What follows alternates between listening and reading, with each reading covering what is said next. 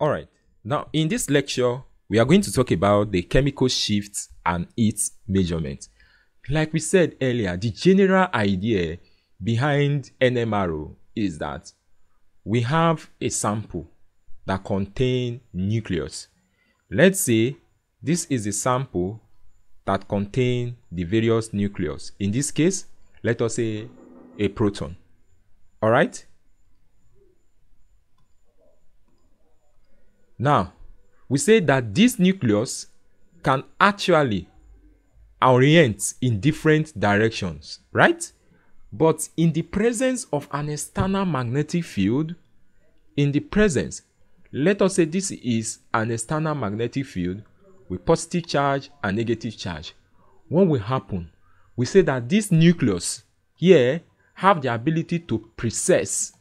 That means they spin, right? They, they, behave like a spinning top. I've explained this before. Right? They have the ability to what? To precess in such a way that some will align with the field while others will align against the field. Of course, if you understand physics very well, you understand, you agree with me that this field will be going from this positive direction towards the what? Negative. So this field is in this direction like this. Now we say some of these protons here some will actually align with the field. I will say this one, they are low energy, while there are some that will actually what go against the field. Where we say this one, they are what high energy nucleus. Now, we said that this process by which um, an external magnetic field is being attached or is being applied to a nucleus in order to change the spin orientation of that nucleus is actually accompanied accompanied rather by a particular frequency which we call the precessional frequency. Now, for most of these um, instruments that we are using, the field strength is usually 1.4 Tesla. So when you see 1.4 T, it's actually giving you information about the field strength strength. Now, most times, whenever this field, electric field, is attached, um, listen, oh, the frequency with which this nucleus precess is 60 megahertz. So we can say precessional frequency is equals to 60 megahertz. So most instruments usually precess with what? This 60 megahertz. Now, how about a situation where we increase the uh, strength to, let's say, 14 Tesla? 14 Tesla, it means we increase it by a factor of 10, Abby, because 1.4 to 14 means you multiply by 10. It also means the precessional frequency we increase by how many? By 10. So we are going to have precessional frequency equals to 600 megahertz. Are you getting it now? Now, the precessional frequency of protons in the same electric field is the same. The precessional frequency of protons in the same electric field is, the same. There are a number of factors that actually determine this. Now, but a man discovered that when they placed ethanol, the structure of ethanol is something like this CH3 CH2OH. Now, they placed ethanol in the same electric field. What did we say here? That the precessional frequency of protons in the same electric field is what? Is the same. But when they placed ethanol using the same electric field, they discovered that the precessional frequency are different. Do you understand the concept? The precessional frequency of protons in the same electric field are the same. So by right, if this ethanol is a compound, by right, all the protons in ethanol are supposed to have the same precessional frequency. That means this ethanol, if you apply a magnetic field to this ethanol, all the protons here are supposed to have one frequency at which they what they precess. That is that spinning top. Are you getting it now? Now, But a man discovered that when he actually placed this ethanol, the values of the precessional frequency for the protons were different. And this actually marked the beginning of the use of NMRO as a tool for structural elucidation. And the first man that actually carries, uh, carried out this was a man called Packard in 1951. Is that okay? In 1951, by right, we said that the precessional frequency of all protons in the same electric field should be what? The same. But the man said when he carried out the experiment for that of um, ethanol, you discover that this CH3 came out different, this CH2 came out different, and this proton here came out different. That means the protons in CH3, protons in CH3 are three protons, right? They came out different. Protons in CH2 came out different. Protons in hydrogen came out what? Different. That was when they now ah, so we can actually use this to determine the nature of protons around the party or in a particular compound. Are you getting it now? See, uh, so he actually now discovered that these three values depends on the chemical environment. These three values depends on the chemical environment. Is that okay? That these three values that you get here depend on the chemical environment of each of the proton. That although they are the same compound, they are the same, they are protons of the same compound, but they have different what chemical environment. When we talk about chemical environment, we are actually talking about what is close to each of the proton. For instance, you know you agree with me that this CH3 proton is not in the same chemical environment as this CH2 proton. Why? Because this CH3, what is close to it is what? CH2. But this CH2, what is close to it is what? OH and what? CH3. So they are in different chemical what? Environment. When we talk about the chemical environment, we're actually talking about those things that are surrounding a particular what? Proton. Is that okay? So that is that. That was the beginning of the use of NMRO as a, a method for structural elucidation. Now, listen. But then, you know that we said that there is a shift in frequency, right? Because they are supposed to have the same word precessional frequency but now we are having different what precessional frequency. So there is actually a shift in what? Frequency which depends on the chemical environment right? What brought about the shift in frequency? All frequencies are supposed to be the same but there is now a shift. Some of them are having frequency higher than the other. And what brought about this was the chemical environment of the proton. And that was what now brought about what we all know today as what? Chemical shift. A shift in the precessional frequency. A shift in the precessional frequency, right?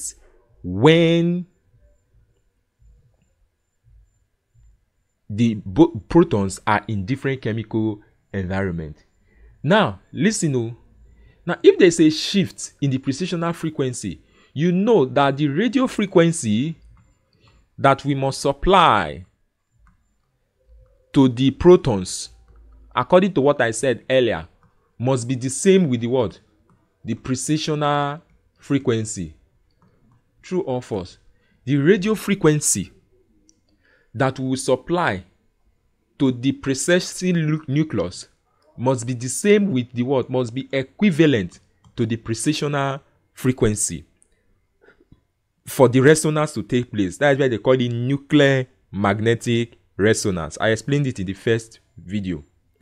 That for resonance to take place, the radio frequency from the NMRO source, right, that you must actually supply must be equal to the precessional frequency that is brought about as a result of the what external magnetic field applied to the proton. So since we are now having different precessional frequency, something can be done. It means that the radio frequency that we'll be supplying to might likely what change. True or false? And therefore, we are going to be measuring different frequency for each of these what for each of these proton in the NMRO spectrum. And that is why when you do the NMRO spectrum, these three things will not come as one peak, but rather they will come as I mean they will not come as one signals, but rather they will come as what different signals, right? Because we said that the precessional frequency, this radio frequency, you actually uh, apply um, should be the same as the precessional frequency, which we excite those low energy uh, protons to what high energy um, charges, which of course they will fall back. When they are falling back, the detector will uh, pick it, and then the signal will be given. Is that okay? Since the radio frequency now is not different, and the precessional frequency is not different, it means that for each of them you'll be having different different what signals. All right. So that is that.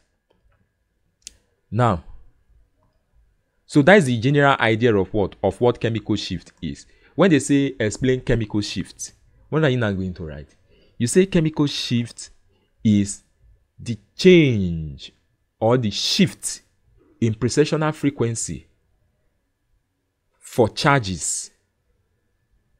When an external magnetic field is applied due to different chemical environments of these charges or of the or don't say charges use nucleus right? The change in the precessional frequency of nucleus right due to different chemical environment of these nucleus as seen in the NMRO spectrum. Is what we call the chemical shift. Now the chemical shift of course we know that is measured is indicated with what? The delta sign right? And we are going to look at how we can actually measure the chemical shift in subsequent lecture. All right. Now to measure the precessional frequency is actually um, in absolute frequency unit is not difficult right what we are saying here now is we want to actually measure the precessional frequency of each of the individual proton for instance, I've given to you that, for instance, you have CH3, CH2, OH. This one, we have different precessional frequency. This, we have different precessional frequency. This, we have different precessional frequency. Now, we need to actually measure the individual precessional frequency. Right? We can measure the individual precessional frequency, but most time it is not required. Do you understand? Because if we are doing that, it means we are now using the individual precessional frequency in our what? In our spectrum. But most time you don't actually need that. Are you getting it now? The difference in frequency is measured with respect to some group of nuclei.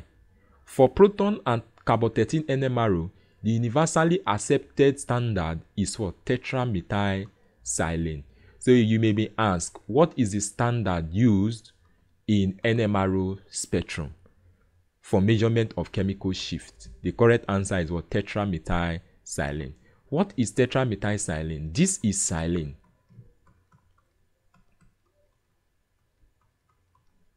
This is structure of silane. Now, when the hydrogen groups here have been substituted with CH3, you call it what? Tetramethylsilane. So you are going to have something like this. All right this tetramethylsilane. So what we actually do is we measure the frequency of this one, measure the frequency of this, measure the frequency of this, and then we subtract them from the frequency of what?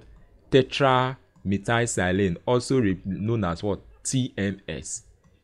Is that okay? So that is what is actually represented as the chemical shift Instead of measuring the individual frequency, what we do is we use a standard and then we measure the shifts from the standard.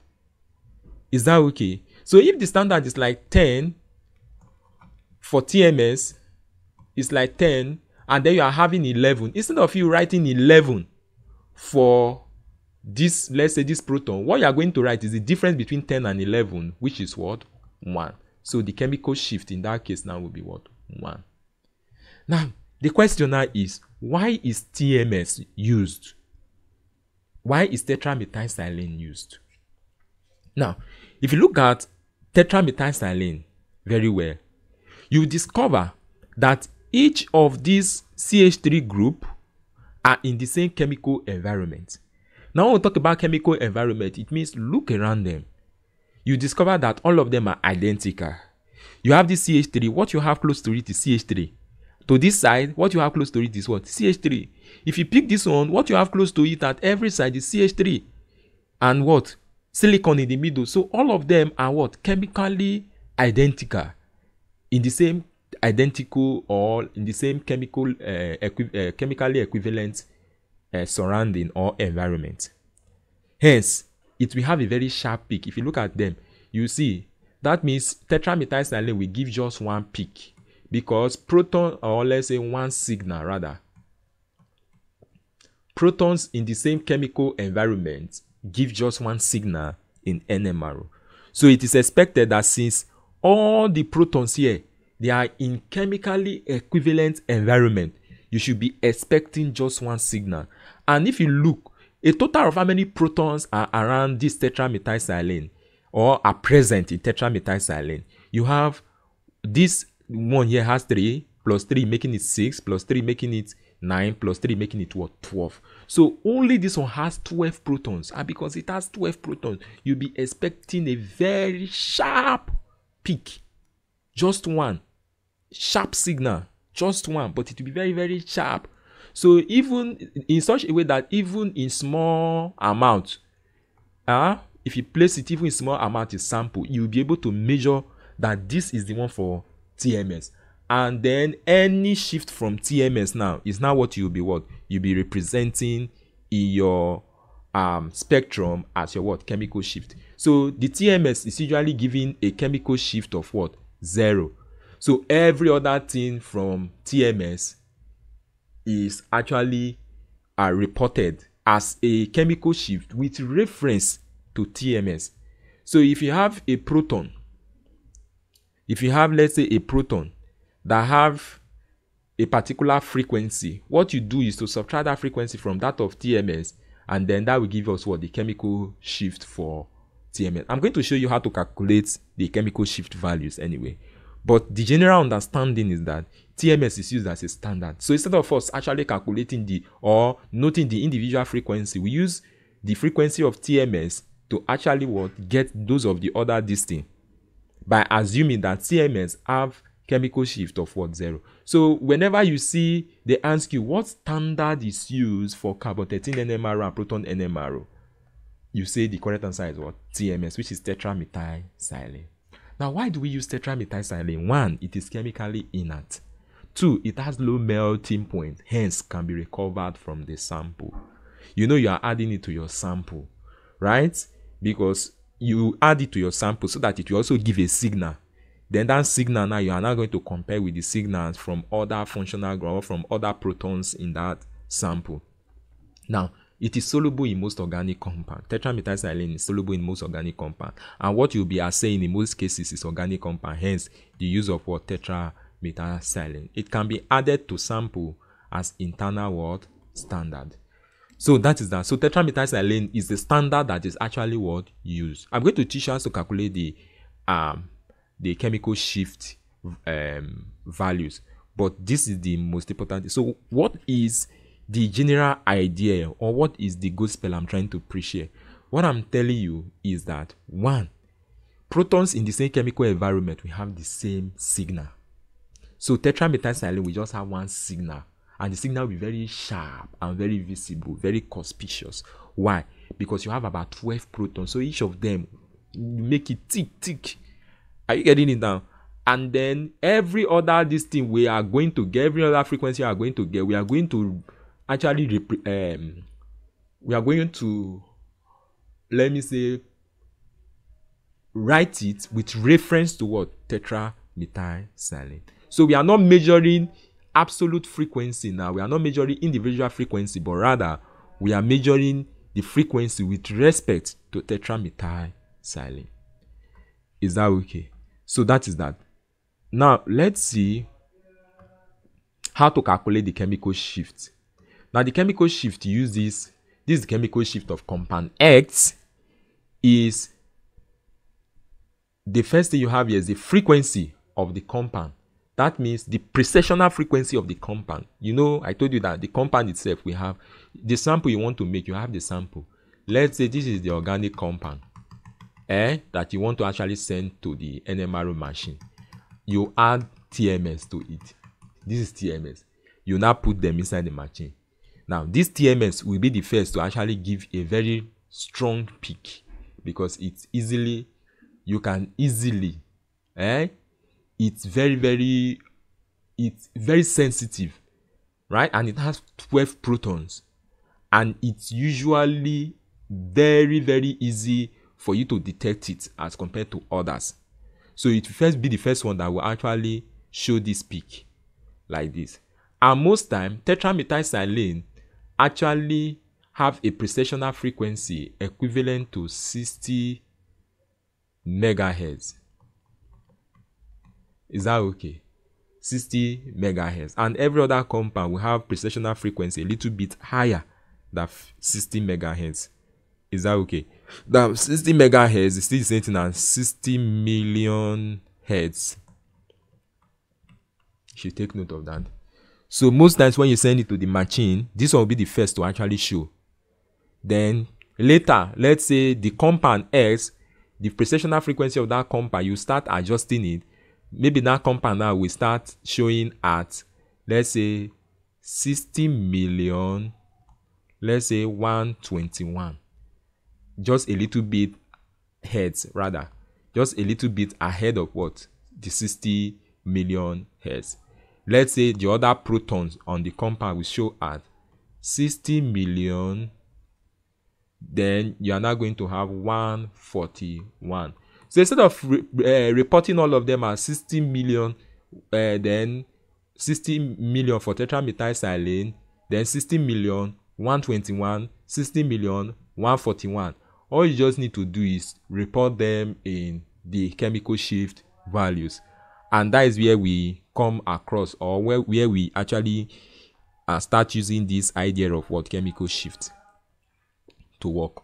So the chemical shift for I said VS is the chemical shift for compound X. V um okay V uh, not VS this symbol here delta is the chemical shift for compound S. VS is the precessional frequency of X. VTMS is the precessional frequency of TMS in hertz. VO is the precessional operating fre uh, or let's say frequency of operating device. In megahertz please take note the precessional frequency must be in hertz. That of tms must be in hertz. But the frequency of the operating device must be in what? Megahertz you should take note. Frequency of the operating device must be in what? In megahertz. Is that okay? Now that is that. Now, another thing that you also need to know, methods used for measuring um, precessional frequency or chemical shift. You have two methods. One is called the continuous wave method. You should just read about this one. And the other one is the pulse technique and Fourier transform. Now, this continuous wave method is what we call continuous wave NMR. Why this Fourier transform is what we call FTNMR. These are the two methods of measuring what um chemical shift. Is that okay? Now, let's see in the in your spectrum, you usually draw the chemical shift and uh, the what you actually represent is the chemical shift. Now, listen. This area is called low frequency area. Why this area is called the high frequency area. This low frequency area, that is where you have TMS at zero point, is called upfield.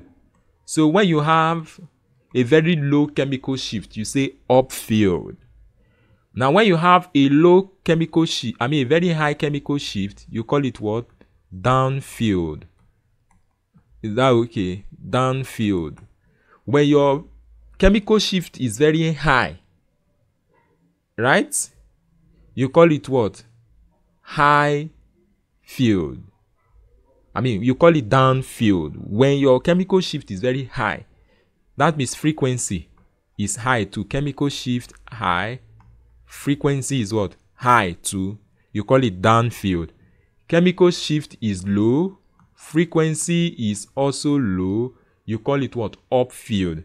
So if they say between upfield and downfield, which one will have the highest chemical shift? Of course, upfield we have a lower chemical shift, while downfield we have a higher chemical shift. So if you say a shift to lower frequency, you say is what?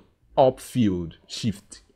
A shift to higher frequency, downfield shift. Is that okay? So that is that. So when you are representing, you actually draw from this side like this. So if this one is like zero, this one may be like one, here will be like two, here will be like three, here will be like four, here will be like what? Five. So when it is progressing towards this side, the chemical shift is increasing, the frequency is increasing, you say it is what? Down field. Not because this one's half up, feel is actually higher. Mm-mm. The one downfield are the one with higher chemical shift, higher frequency. All right, let's use the idea of chemical shift to solve one or two question All right. Now, the question says, let me be quick with this. The question says, um, this OA signal on a spectrum is 144 hertz higher than TMS. Now, what did I tell you that the value for TMS is most time it is usually TMS the frequency for TMS is usually 60 megahertz, which is approximate to 6 million hertz because I told you that that of TMS you must convert it to hertz. Now, they say the OH signal of a spectrum. So that of the OH is RVS which is the frequency of the compound. The compound now is OH, right? This one is VTMS. Frequency of, not V rather, but we can use V to represent it. The frequency of TMS. This one is that of the compound. Now, it is 144 higher than, so it means if this one is 6 million, this one will be, I mean 60 million, this one will be 60 million 144 hertz. When I say 144 higher than it means you add it to that of this one here. Is that okay? Now, most of the operating device, like I told you, so that of VO of the operating device is usually 60 megahertz. That is the reason why TMS, immediately you put it, it will detect TMS will actually process first or it will resonate with it.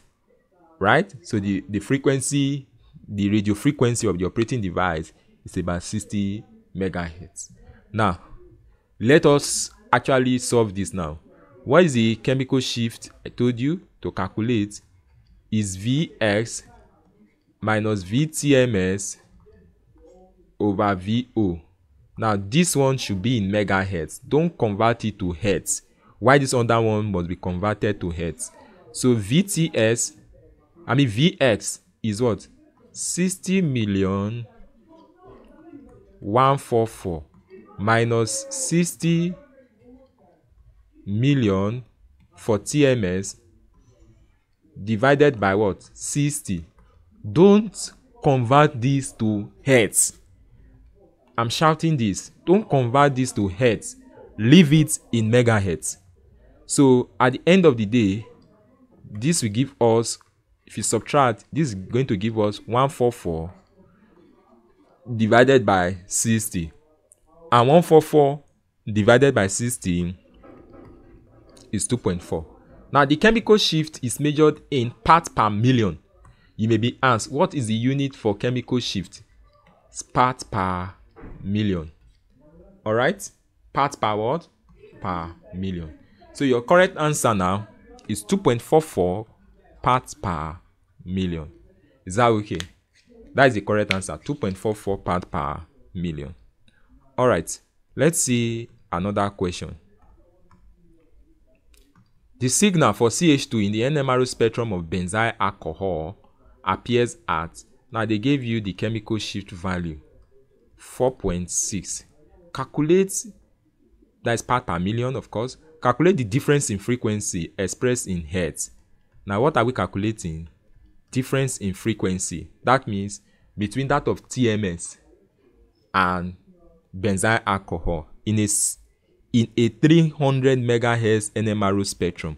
So it means the operate the frequency of the operating device in this case, which is VO, was given as what 300 megahertz because they give, give to you that in a 300 megahertz NMRO spectrum. But most time, if it's not given to you, just use the 60 megahertz because most of the devices usually use that 60 megahertz. So this one is 300 megahertz. Now, what are we actually looking for? You are given this. The formula is x minus vtms. Now, what we are looking for is this stuff you have on top here, the difference. So let me represent this with x, right? What you are looking for is different between this and this. So we can say that this is x all over VO. Of course, remember that this one must be in megahertz. On no account should you convert 300 megahertz to 300 million hertz. On no account should you do that. But your answer will still remain in hertz because we know that everything on top here must be converted to what? To hertz. So this will be 4.6 is equals to x divided by 300 megahertz. Of course, this is over 1. You cross multiply this is going to give us x will be equals to 4.6 times 300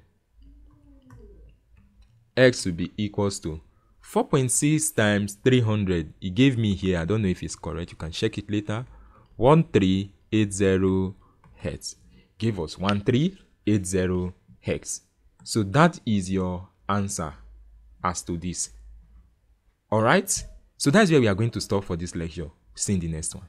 Bye bye.